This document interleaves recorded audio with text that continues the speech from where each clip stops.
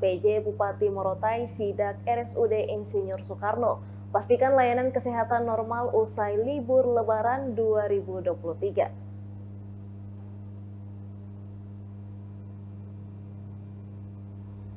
Bersama Sekda Pulau Morotai Efre Vidara, PJ Bupati Pulau Morotai Muhammad Umar Ali, lakukan inspeksi mendadak atau sidak ke RSUD Insinyur Soekarno Morotai pada Rabu 26 April 2023.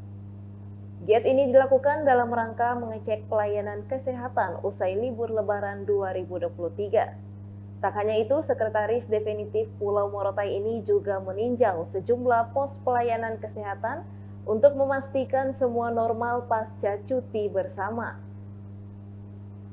Muhammad Umar Ali dalam postingan Facebooknya mengatakan, meski libur lebaran, pelayanan kesehatan di Morotai tetap berjalan normal.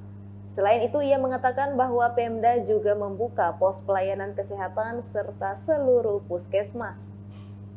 Tak lupa ia mengucapkan terima kasih kepada seluruh tenaga kesehatan serta yang ikut terlibat dalam pelaksanaan pelayanan kesehatan saat libur lebaran 2023.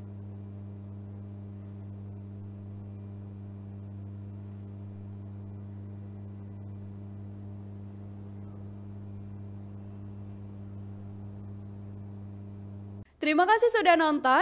Jangan lupa like, subscribe, dan share ya.